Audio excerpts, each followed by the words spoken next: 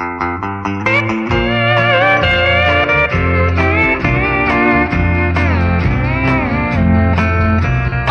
known for quite some time you didn't love me.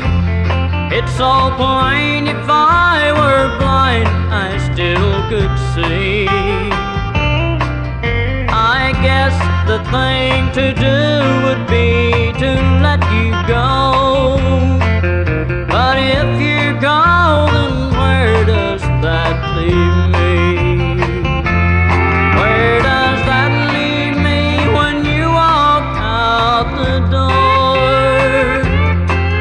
What kind of life will I have if you leave?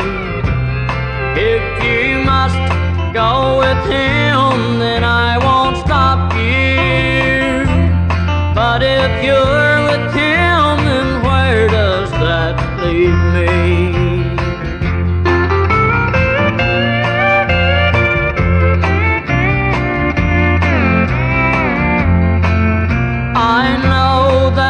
should want to see you happy, even if it means I'd have to set you free.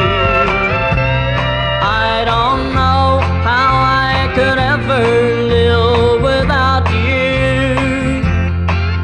So if you go, then where does that leave me?